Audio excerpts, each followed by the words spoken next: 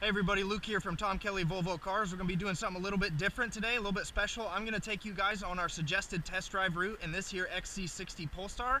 This is one of the coolest models that we are offering here at Volvo at the moment. Also on our YouTube channel is a full walk around of this exact vehicle where you can learn a little bit more about what makes a Polestar a Polestar, our specialty brakes and suspension and everything. So if you're interested, I will link that video in the description. But for now, I'm going to put this in hybrid mode and we're going to set off. I have about a half charge on our PHEV battery, so we've got nine miles of fully electric range, and as long as I keep my foot out of it, it'll stay right there using the electric power. If I choose, I can choose pure mode over here on the center screen, and now all I have is electric. Important thing to note, it is 51 degrees outside today, so the summer tires on this vehicle are not going to be performing 100%, so I will not be throwing it around too hard. We do have Öhlins suspension and a Polestar tuned chassis, so this thing handles extremely well but I don't want to go too crazy today. Right now though, it's a little bit stop and go, a little bit uninteresting. I'll cut you guys back in when things get a little cooler. One important thing to note, you see as I use the brakes here, we are getting into regenerative braking, so every time I use the brakes, the electric motor in the rear is recapturing some of the wasted energy and putting it back in the battery for me to use later. That'll be very helpful when we get out here on the country roads. We're gonna roll across these railroad tracks here little bit rougher than your average Volvo, but that's what you're looking for when you're in a Polestar engineered. You want that performance-oriented suspension. Coming up here, we're going to go around this roundabout and shoot off into the country, so I'm going to go ahead and select Polestar engineered mode. I don't know if you guys can hear that too well, but the gas engine is just fired up, and now I have 415 horsepower under my right foot. And we are going to cut off here onto the right onto O'Day Road. We've got some curves to check out, a little bit more open. So we're going to saw it in here. Like I said, changes direction unbelievably quick. These two right here, my two left, my right left S complex, is a lot of fun in this vehicle. Unbelievably grippy.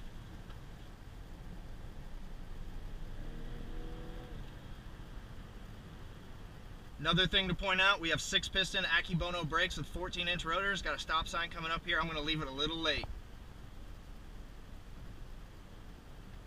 And brake. Very limited braking with my right foot. Still comes to a stop. This vehicle doesn't really stop, it drops anchor.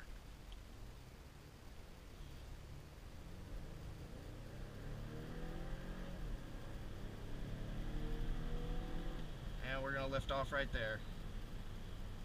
I don't know if you guys can hear it, but the E-Charger on our T8 engine up there is screaming away giving me low down torque, and then once it cuts out at 3,500 RPM, the turbo takes over, giving me full boost.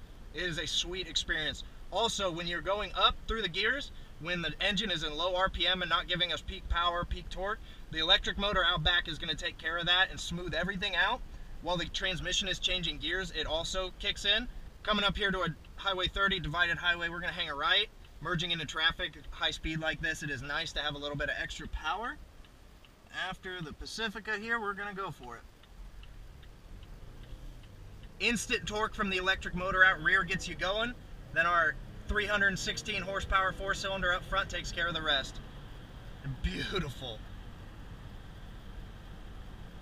As I mentioned earlier, the suspension in this vehicle is a little bit firmer due to the bigger wheels and then our Öhlins suspension. It is noticeable compared to an Inscription or a Momentum XC60, but it is not uncomfortable it is within the realm of a luxury car as far as I'm concerned. And if you're buying a Polestar engineered, that's something you need to know going in, that it's going to be a little bit firmer. But that's something I really, me personally, I would want. Merging onto the highway, T8s are fantastic. Like I said, linear acceleration, tons of torque. You can get up to highway speed in an instant. Not making any problems for everybody else when you're trying to merge on.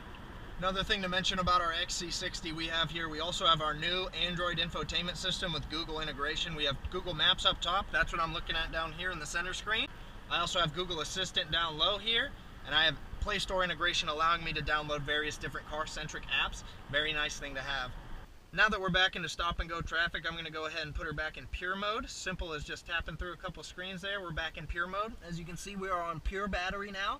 So rest of the way back to the dealership is going to be silent.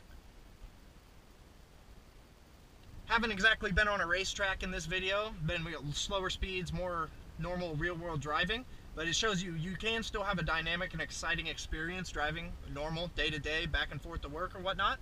We're gonna pull in. I'm gonna plug this sucker in before we put it back on the showroom floor. I hope you enjoyed this new format of video. If you're interested in this Polestar, you can reach out to us online. You can give us a phone call or you can stop in. It lives in our showroom most of the time. I would be happy to show you around it. Thanks for watching.